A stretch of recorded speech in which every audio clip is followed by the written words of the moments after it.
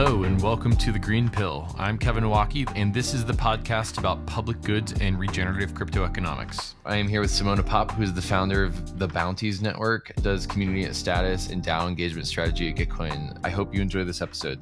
So, you've got some money, but how are you going to use it? You want to spend. You, me, shopping, now, bro. When you know you should be saving. You'll never buy a house at this rate. But what if you could spend and save at the same time? For the enlightened kind, with inquiring minds, a new world awaits. Set yourself free with completely flexible self-repaying loan technology. Supported on desktop and mobile, seize the power of Alchemix, allowing you to spend and save at the same time. Leverage your wealth without risk of liquidation.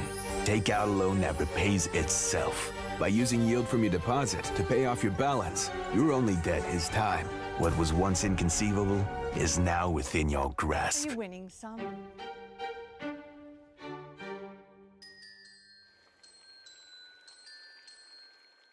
If you're trying to grow and preserve your crypto wealth, optimizing your taxes is just as lucrative as trying to find the next hidden gem. Alto IRA can help you invest in crypto in tax advantage ways to help you preserve your hard earned money. Alto, Crypto IRA lets you invest in more than 150 coins and tokens with all the same tax advantages of an IRA. They make it easy to fund your alternative IRA or crypto IRA via your 401k or by contributing directly from your bank account. There is no setup or account fees, and it's all you need to do to invest in crypto tax free. Let me repeat that again.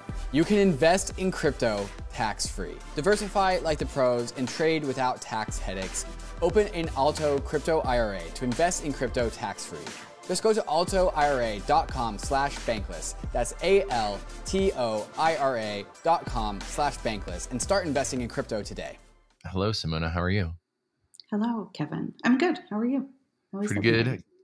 Glad to have you here. Uh, so let's tee off by talking about how you got into crypto and what keeps you in crypto. Well, the how I got into crypto is a uh, shorter answer versus the what keeps me in crypto Mhm. piece. Um, so I got interested in crypto back um, at the end of 2017 when I was doing a whole bunch of research around, um, you know, technology and really finance and where it could Mhm. Be taken to um, in a dynamic where it might serve more people than the current system. And so um, I stumbled upon a lot of um, articles around like supply chain and things that I believe Viant um, were doing at the time, um, who were part of ConsenSys. And I kind of started digging a little bit deeper and um, trying to understand okay, well, what are the real opportunities and real possibilities and real um, essentially trajectories that we can push this um, where it does indeed um, serve the many versus Mhm. yet again the few Right. and that's how I came to um, co-found the Bounties Network. Met Mark. Um, we essentially discovered that you know we had this common interest in how we could use smart contracts to essentially deploy funds for anything, anywhere in the world, regardless of whether Mhm. individuals who were completing bounties were their countries were part of the SWIFT network, or even if they had bank accounts or not. Um, and that for me was a very interesting proposition, right? Because so many people are excluded um, from participation in the global economy and really just right. excluded from being able to, um, let's say, realize a higher potential, more Yeah. potential because of their geographic uh, position and their socioeconomic status.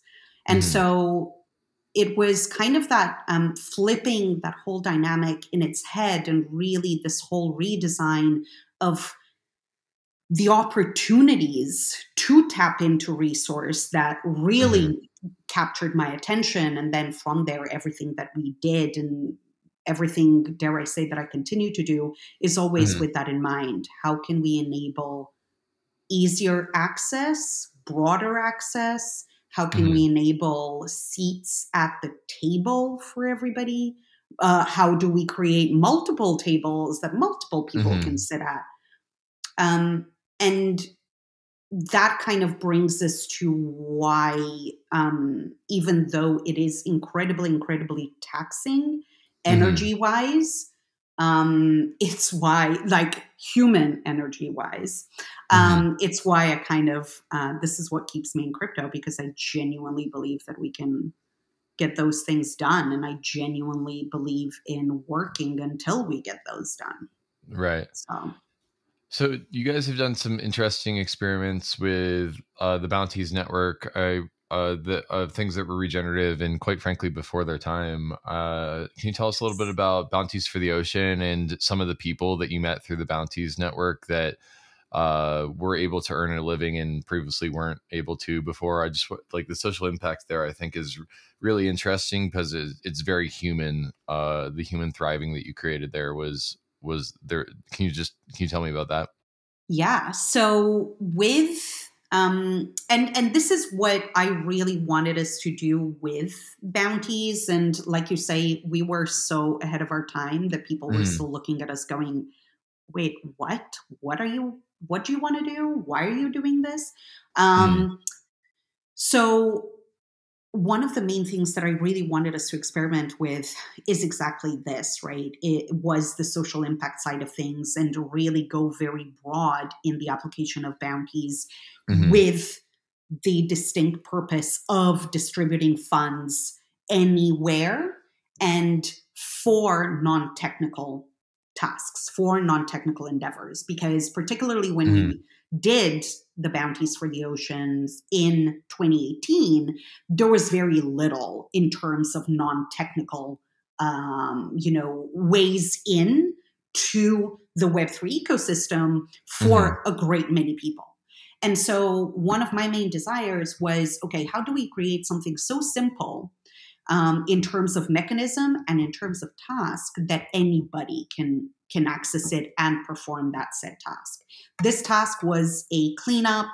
Uh, you prove that you have done a cleanup and you get rewarded with crypto.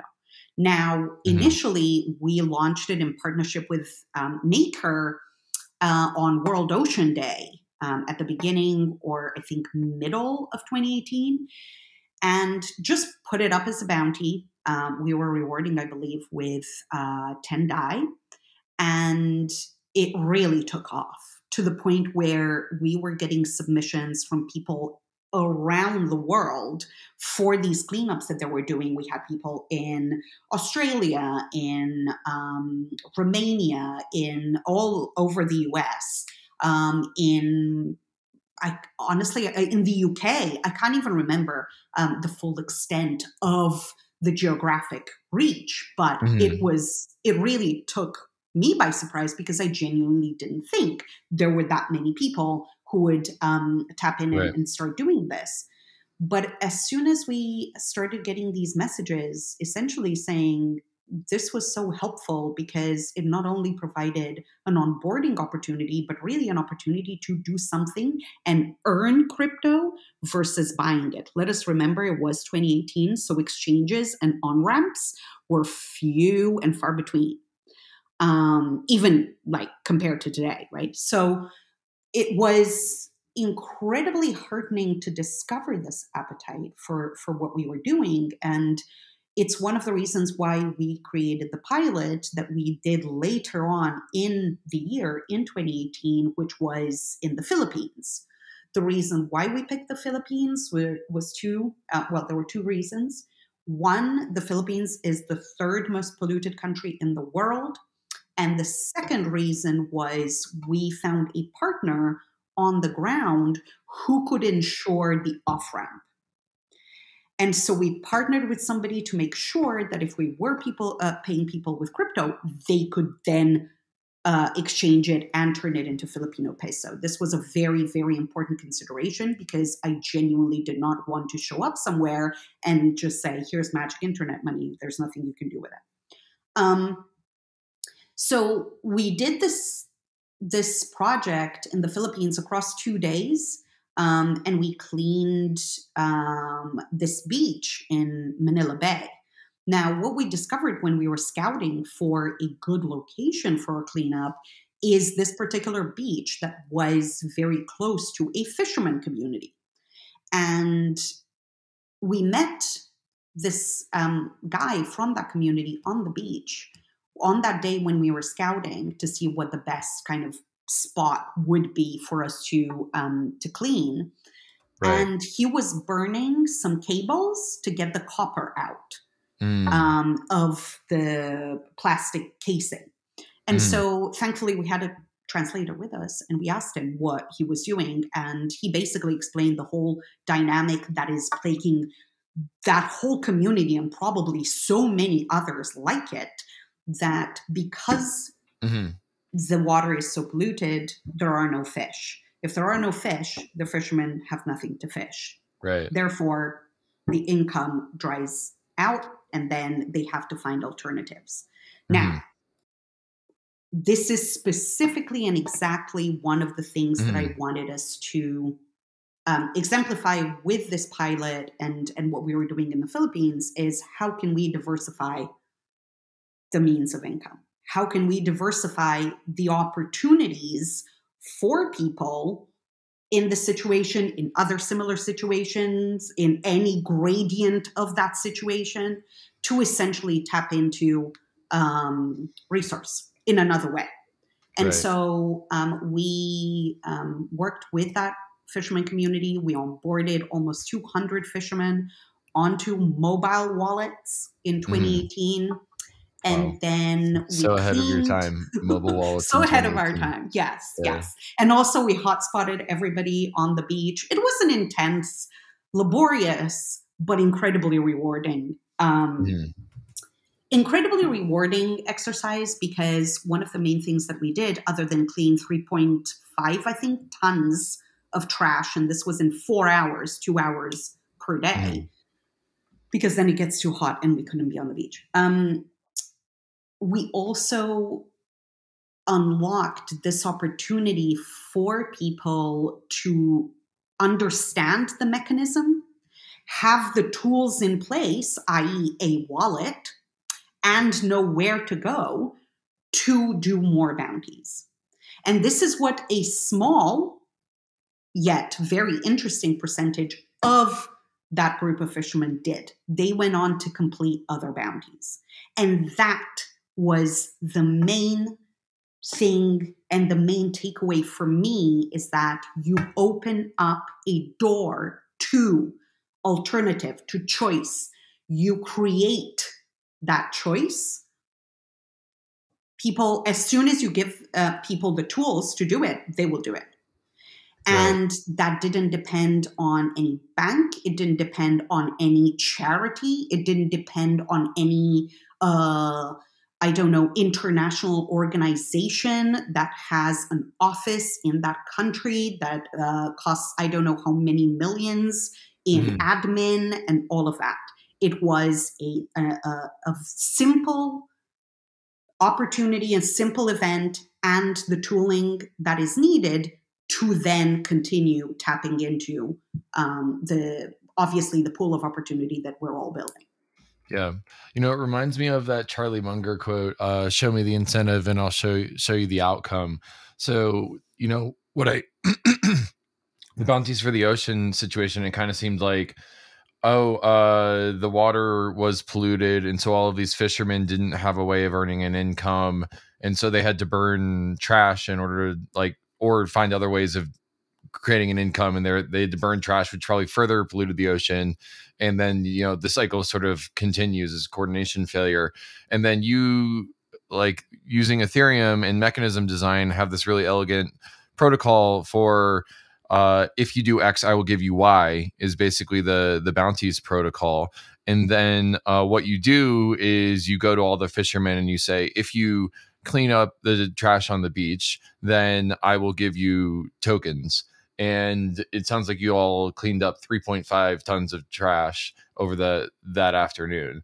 And so I think that it's a really interesting example. If you show me the incentive, I'll show you the outcome. You basically shifted the Schelling point of the incentives of all of those fishermen on the beach and created a regenerative outcome by using mechanism design. Is that more or less accurate?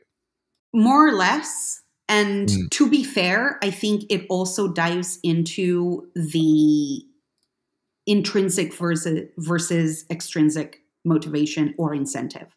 Because if you Mhm. think about it, yes, they were getting tokens in exchange, but they were also cleaning the beach that they need for the fishing.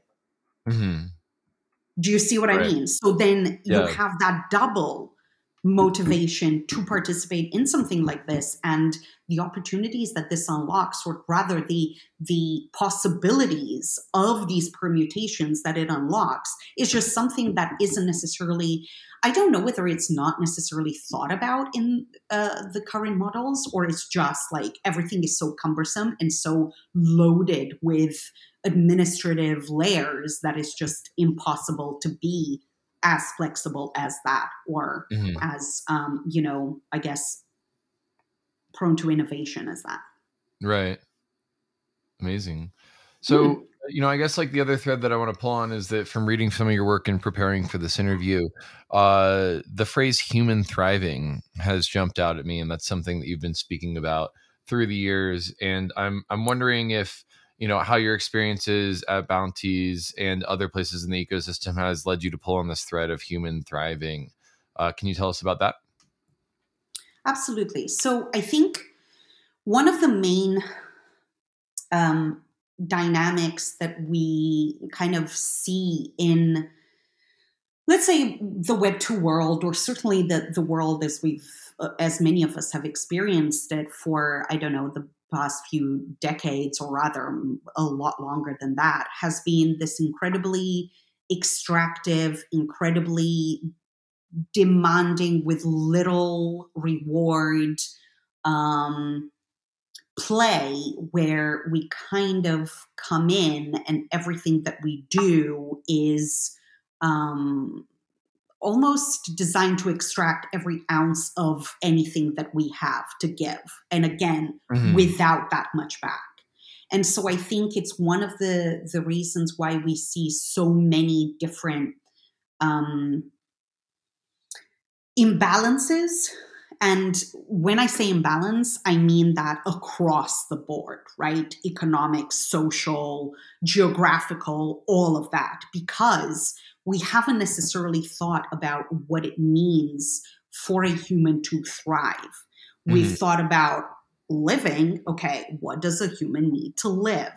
Um, what are the layers of that basic middle class? Like we've uh, thought about all of these different boxes almost but haven't ever focused on what an individual or what humanity in its totality needs to Mhm. be in a state of thriving Right. and a lot of that comes from this um, the experience, not just my own, but I think just speaking to so many people in so many different, I guess, situations or times in their lives, or um, uh, I guess um, space in their mind that Mhm. they always feel like there is something that they would want to do more of, but feel unable to because of some sort of constraint. Whether it is, I cannot do this volunteer work because I have to work to pay my bills, right? Or I would love to get involved in this, but again, the country that I'm in does not have XY connections with the global economy. Or I live over here and I would love to work over here, but there's no Mhm. opportunity for me to do that.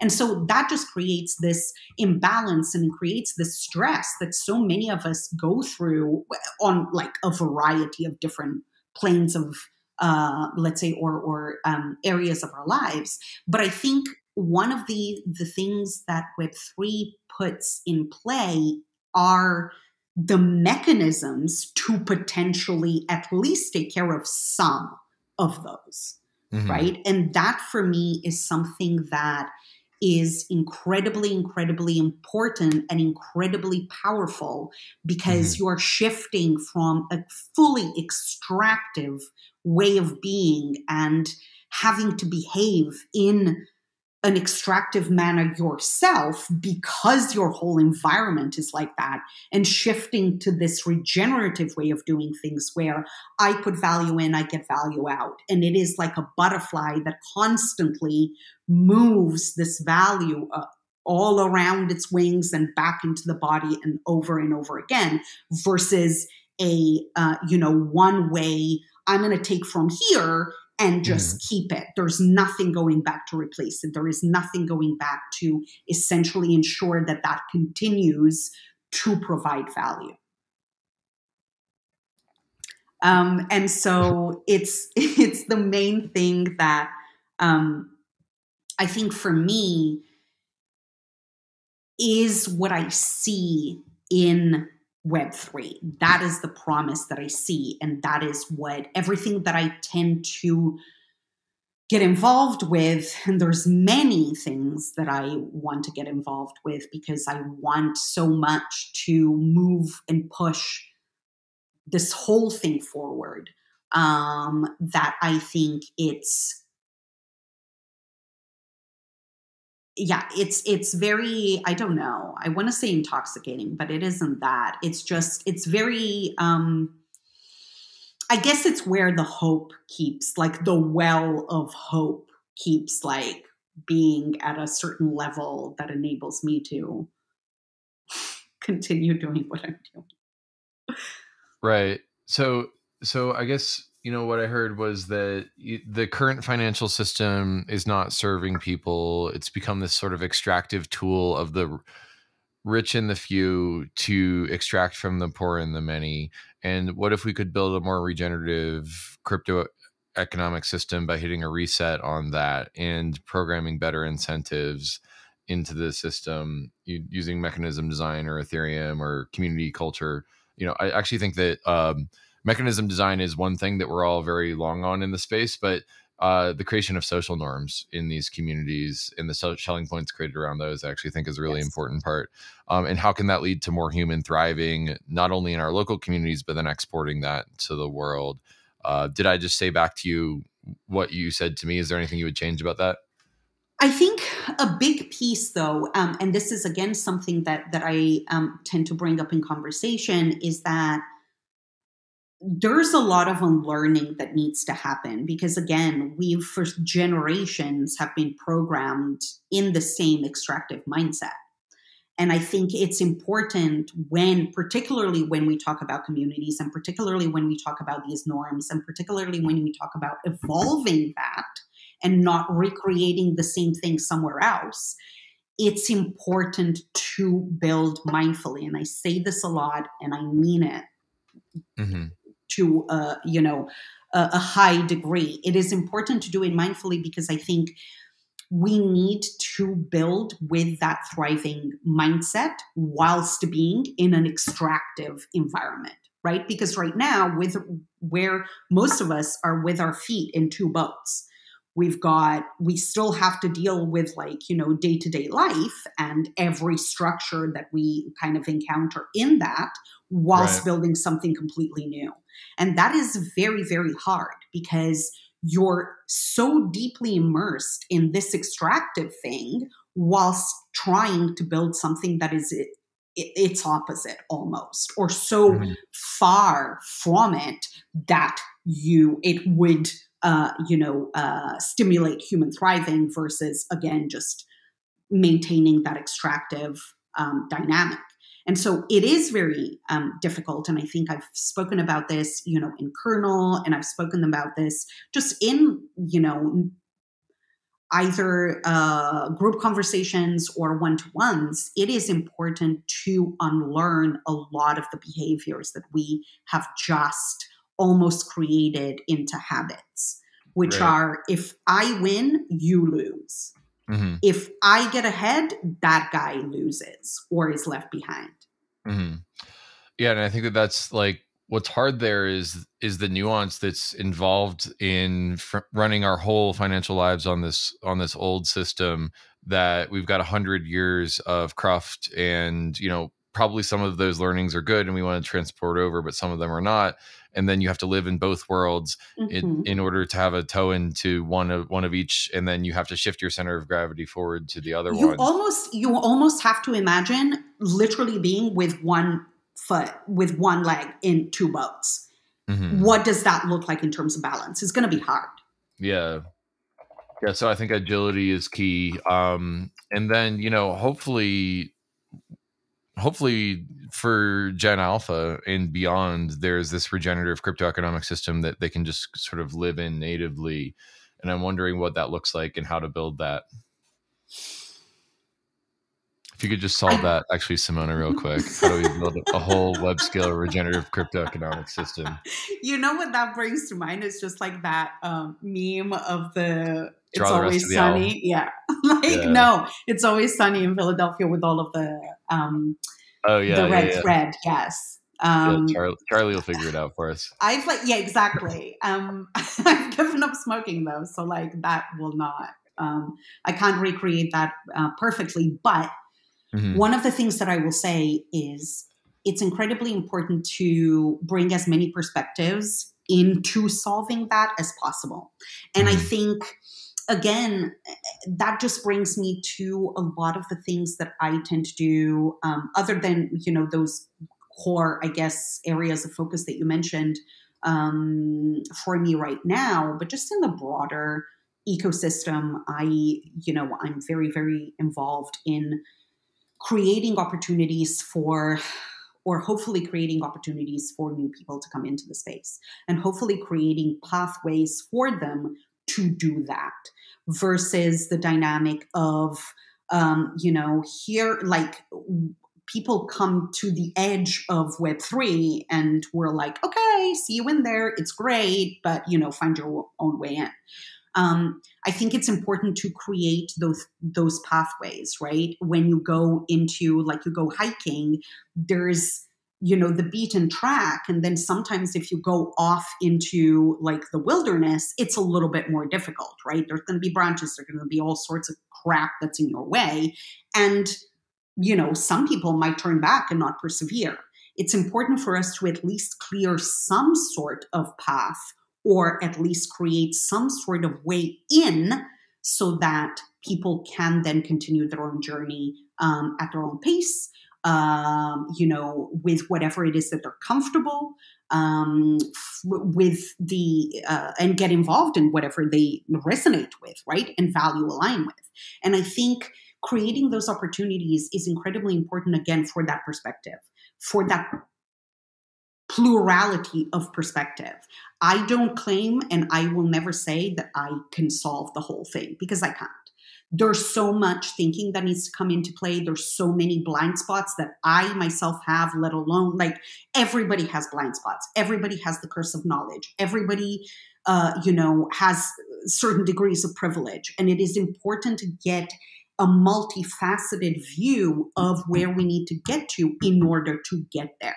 Because again, the same way as you have a flat map versus a 3D one, you can definitely see more and um, understand the ways around and the ways in and the ways through and the ways like uh, you know across um, when you have that 3d model versus an incredibly like think of the old maps right that weren't even to scale when we were like just right. very crudely drawn versus yeah. something that is incredibly incredibly um, let's say, granular and incredibly nuanced. Because I think mm. that is the way we build what we want with nuance. Right now, we don't have nuance. Mm-hmm.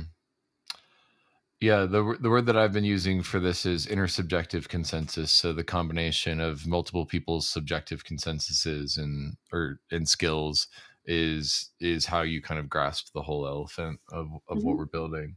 When you shop for plane tickets, you probably use Kayak, Expedia, or Google to compare ticket prices. So why would you limit yourself to just one exchange when you trade crypto? When you make your trades, you want to make sure you're getting the best possible price on your trade, and that's why you should be using Matcha. Matcha has smart order routing that splits your trade across all the various liquidity sources in Ethereum and is also operational on Polygon, Avalanche, Binance Smart Chain, and other chains. Trading on Matcha is super easy because it pools the liquidity for me in a single, easy to use platform and allows me to make limit on chain orders. So you can set and forget your DeFi trades and they will go through automatically while you're away. So when you're making a trade, head over to matcha.xyz slash bankless and connect your wallet to start getting the best prices and most liquidity when you trade your crypto assets. Opolis is a member-owned digital employment cooperative offering payroll, health insurance, and membership perks that go beyond the basics that you would find at your normal 9 to 5. Opolis offers not only health benefits, but also pay stubs and W-2s, workers' comp, and unemployment insurance, as well as disability benefits for independent DAO workers that are traditionally reserved for regular employment situations. Opolis provides a tax-compliant way to get your paycheck in crypto and professionalize your work-life situation. Opolis members enjoy an average of 20 to 50% savings on top rated national group health insurances, as well as self sovereign portable employment. You can also get tokenized rewards based on consumption, staking, and referrals, and also the ability to fund payroll in fiat and stablecoins without the use of centralized exchange. You can also receive paychecks in fiat and whitelisted digital currencies. So sign up for Opolis today and get a thousand work and a thousand bank tokens when you become a member of Opolis by May 25th, 2022, and get started working your self-sovereign life. Um, you know, I'm wondering what you're working on these days and if and how it, it sort of supports your work and, and in this vision. So with, um, with status, the uh, the stuff that I put in motion, and hopefully that is coming to fruition soon, is a communities feature that essentially means that the whole status stack, which is mm-hmm. very helpful and very useful, and it was built from scratch when they first started because there was no infrastructure, but mm-hmm. it is very much, uh, you know, in line with the principles of decentralization and privacy. Mm-hmm. Um, hopefully that gets shipped this year um, and we have an alternative, like a true Web3 alternative to the community tooling that we use right now, which is Discord and a whole bunch of bots. Right, messaging. And then some, right. Yeah. And then some with the nice crypto uh, dynamics, voting in there, and everything that we need. So that's one. Two is, and this is very much what I've started, what I started getting interested in last year is as DAOs have really evolved and obviously taken center stage, it's mm-hmm. very important to also figure out those flows and do them right. Mm-hmm. And right now, and this is something that I guess is just a result of a lot of people being very early and a lot of people experimenting. There's a lot of DAOs with a lot of people doing multiple DAOs mm-hmm. but not necessarily doing them properly. And when I say doing them properly, I mean it's a surface level of engagement. There is no depth where I would like to see the iceberg vibe, right? So mm-hmm. this is the surface, but this is what is happening. And right. that bit is what I'm interested in figuring out is what the structure is. How do we make it something that isn't, you know, a stupidly bureaucratic and laborsome and cumbersome dynamic that just people don't have time for, which right. keeps us at that surface level and never going any deeper. And mm-hmm. so I think figuring out what those flows are, figuring out how we're able to um, capture, distribute, and allocate attention in a way that flows versus mm-hmm. in a way that is um, simplistic and lacking in substance is right. an incredibly broad endeavor, which is yeah. probably why I'm interested in it because I would really love to solve that. And I think, you know, with the work that uh, I'm doing with Gitcoin, bless you. Mm-hmm with the things that I'm doing with Gitcoin and exploring what those different governance engagement flows are, or even not right. even just governance, what are the flows through which we bring these human dynamics into a uh, pattern and into a relationship that actually does create something different and does create something that is uh, inclusive and participatory and transparent and efficient and effective and non-taxing um, mm. you know it's it's a lot to figure out but very interesting indeed and i think some of the tooling that i'm working on i hope will serve the broader ecosystem because mm. i you know and this isn't because i you know co-founded a standard but i do like standards i think mm. it's important mainly for facilitating a lot of the information uh, assimilation and uh, decision making. Mm. Like it just makes sense, especially with the pace of crypto, especially with so many different things happening at the same time. It is humanly impossible to keep tabs and be involved equally in everything. It just cannot happen. And so right. figuring those dynamics out is is very interesting, and that is something that that I'm working on and really, really um, interested in. And then the other piece, of course, is um, the uh, community aspect of it and the, uh, you know, creating space um, and creating spaces for people to join the community, for the community to grow stronger, for the culture to be celebrated, for the culture to evolve, Mm-hmm. for mm-hmm. the principles to and the values to continuously be there. Um, and I kind of tend to do that through um, a lot of the events that I create and co create. So LisCon was a great example. Um, Schelling Point, I um, curated the agenda um, mm-hmm. for Schelling Point. Um, and I think it's important to to continuously create those opportunities, particularly now where we're back to some IRL engagement, some ability to um, gather together in a physical space, and also I think um, maintain that culture, particularly the um, you know the culture that we all kind of I think fell in love with when um, we started on this crypto path because I think it is incredibly important and it does just keep us together and it keeps us together regardless of mm-hmm. the ups and downs and the, I don't know, yeah. law of crypto undulation that takes us on an emotional roller coaster every single day. yeah. Yeah. Uh, it is a very volatile space, and there's a lot moving uh, at many times. And you and I have been through a bull and a bear together. Yes. Um, I'm curious, you know, like so so a uh this episode will probably air after Schelling Point, but hopefully everyone came. Which was amazing, and it was great. Job. Yeah, and and you've done such a great job curating that agenda and creating that space. Um, and, I, and I'm wondering, you know, how we can sort of within Gitcoin DAO create that space that creates a depth of involvement.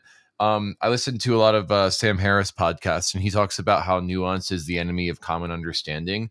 And mm-hmm. I'm wondering, you know, within we build these DAO governance structures, how do we build the the capacity for nuance and for understanding the uh, the depth of of our governance structures, and so we can solve these mechanisms and do it in a decentralized way that it's not just you and I top down making these decisions, but creating that intersubjective consensus being the channel for the participants. And it just feels like that paradox of nuance being the enemy of common understanding is the hard thing to design around. Do you have any do you have any thoughts on that? So I think if you look at one of the things that I'm, and again, part of that human thriving dynamic is this idea of open source economies, right? Where everything is modular and everything, you know, the the distinct blocks of what make up an economy are readily mm-hmm. available. The instructions for putting those together are readily available. Um, right. The let's say the the uh, again, the instructions are a little bit even easier than the IKEA situation, right? So it's very, very mm. easy to take the blocks. I think the nuance maybe is brought in by the different communities that employ them or take them and mm. put them together however it is that works for them.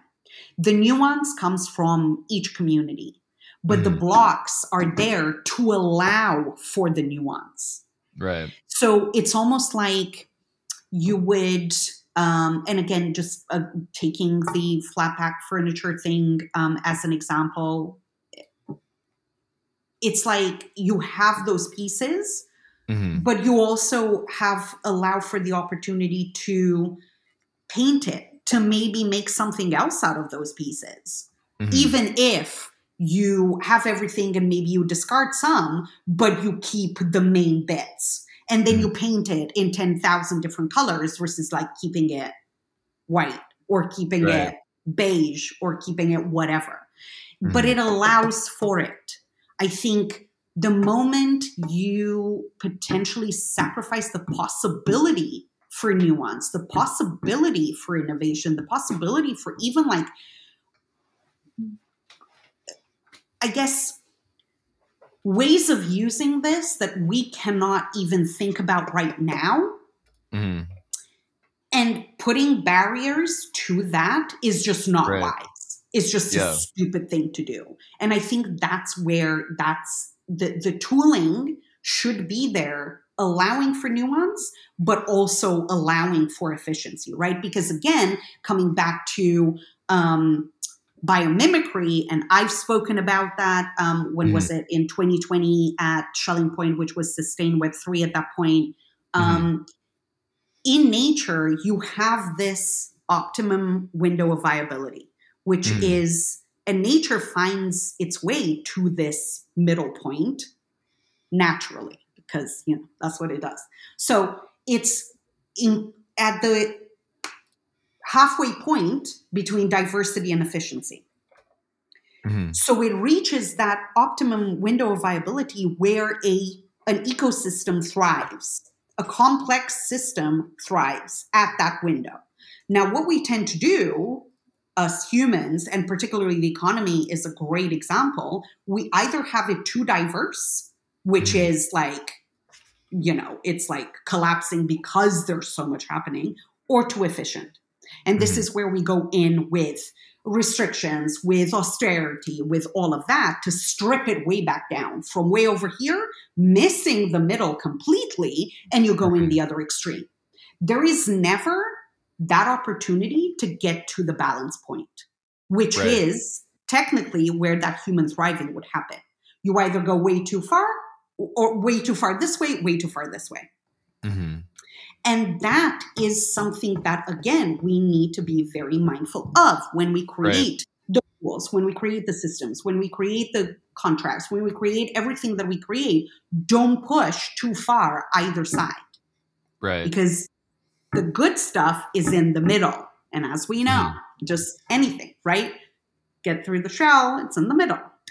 That's yeah. in the middle. Reminds me of the the Buddha quote about finding the middle path. and we have to. I mean, it's true. Like, however way you slice it, and whatever philosophy and whatever um, you know, I guess uh, discipline you look at, particularly again when we talk about nature or when we talk about philosophy and things like that, it is that. It is that balance.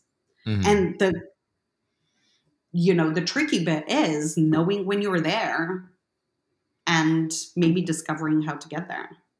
Right. So that's what I'm doing. What are you doing? Trying to spread the meme of regenerative crypto economics. and thank you for uh, riding shotgun with me for 45 minutes. Um, we are coming up on time. Is there anything I didn't ask that you want to tell us, Simona? Um, what didn't you ask? I think maybe um, a good kind of um, I don't know, a good way of um, looking at everything. And this is just a, a, little bit of advice because I've definitely been through these moments. And I know that so many of us, particularly who have been in this ecosystem for a while, have gone through it different times. It, it's, it tends to be very intense and it tends to be very exhausting, particularly when it is a constant mm-hmm. roller coaster of emotion and roller coaster of everything that it brings with it. I think finding that piece that motivates you to keep going and motivates mm-hmm. you to essentially like keep going and keep going and keep building i think if human thriving is something that you're you're aligned with i think keep that in mind it's an mm-hmm. incredibly mm-hmm. um all encompassing and also an incredibly generous way of looking at things. And I think this is the stage that we need to enter in where we are generous, not just with ourselves, but with everybody else. And I mm-hmm. think looking at things from a generous perspective and wanting to create a um, you know a, a system or a world where generosity is um, you know, the let's say the motivator versus extraction. Um, I, I, for me, I find that that that keeps the I don't know the carrot. I guess mm-hmm. the infinite carrot that keeps me right. Going. Yeah, that seems like the right balance. Um, hmm. Well, this is really this is inspiring stuff, Simona. Thank you so much for spending this time with us. Uh, where can people find you online? Find you and your work. Twitter is probably the best. Um, I also put together a link tree just to remind myself of all of the things that I do because I also tend to forget sometimes. Um, so it's just at sim underscore pop, and you can find everything there. All right. Thanks so much, Simona. Thank you. Thanks for having me.